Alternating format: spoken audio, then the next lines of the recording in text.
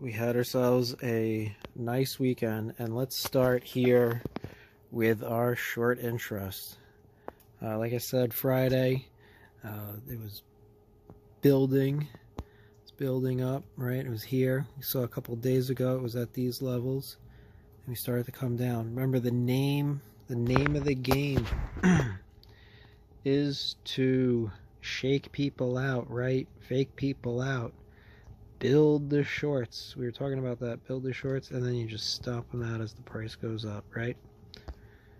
Price goes up, short interest goes down. So now we're down here.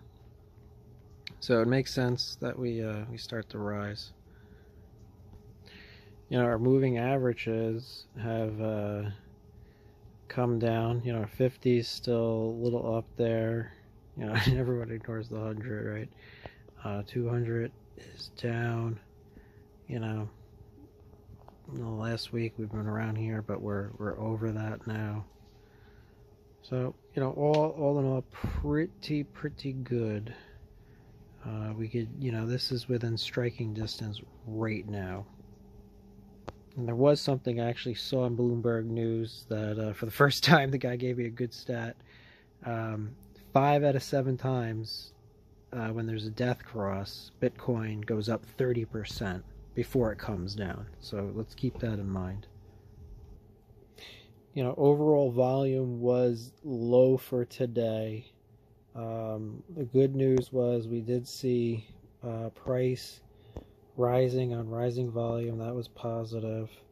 Um, you know, again, these are always good zones. I like to buy when the volume bar right on this type of chart is above the price. For me that just more times than not just seems like a great opportunity to uh, get in there. Let's take a look at um, you know longer day view here. You know if we look at the 30 day here uh, last 30 days you know volume isn't exactly um, right. We've had one two three four, five, six, six days with more volume. So while it is a nice rise, um, you know, it, it, it could be stronger, you know, like on those other days. So it's a good sign, but not, you know, not so, it's it's not necessarily over. But again, if you also look here, good time to buy, good time to buy, good time to buy, right? Even this would have been a good time to buy. Had that run there. Run here. Almost touch here, you would have got that run. Uh, would have bought into that slide, bought into this. So, I don't know. Looks like someone's loading up for a run to the upside. Too many, uh, too much drawn here. I'll get rid of that. So again, uh, last hour or so, the volume, uh, from what we're going to look at the chart, again, these would all be uh, excellent buy opportunities down here.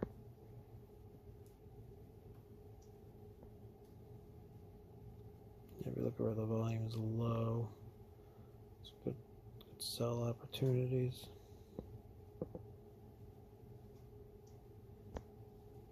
It's just interesting.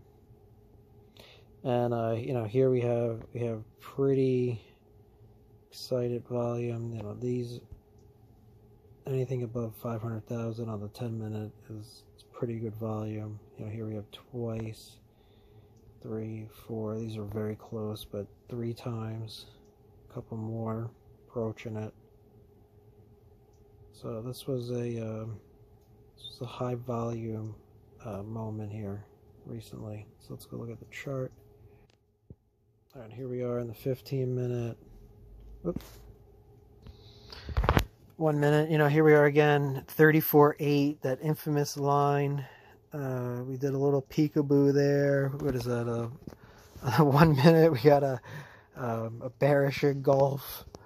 You know, it's kind of silly silly other one minute. But, you know, again, we got that pattern. We're coming up, coming up, bounce off of it, bounce off of it, then teeter down. You know, I, I set some sells up here. Uh, I sold here it's a tiny bit here, a little bit here, just kind of like as it's going up, catch the back end. I set a lot of sells thinking um, go to the five minute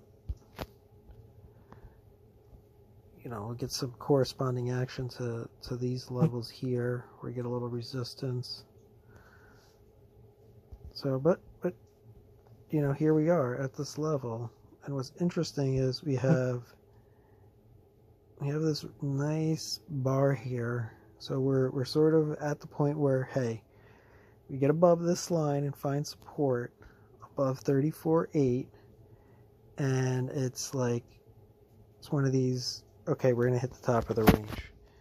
We fail to find support below here. Now we're, we're still in this trading channel. I think we're gonna we're gonna hold. We're gonna hold here. Um, in this box right this box is gonna extend over into tomorrow morning. Monday's gonna Monday's gonna dunk it down. And next week though will be will be a run to the top of the range. I don't see any reason why they wouldn't play with this. We've got these incredible bars. You know, we had this we had this test here. You know, I really thought for the weekend we were going to see you know a little bit more uh, you know something up in this range. But again we're right there where we could play off. We could run up. How far can we run up here? Run up. You know stand 15 actually let's go to the 30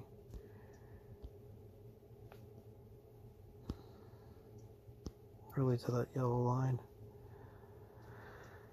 so in a couple days time could hit, you know, 39. You know, these these dash lines you might notice down at these levels, they're kind of like intermediate resistance that you'll see. See in this box here. Zoom in.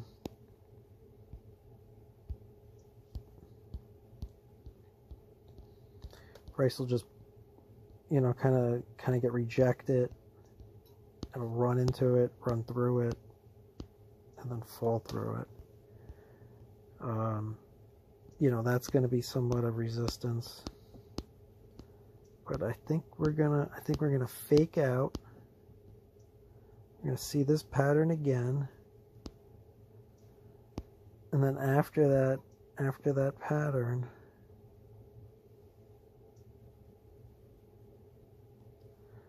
run for real. Like they got to build, or or you know or they built so many so many long positions back here you know they're letting letting this low volume day sort of run it up.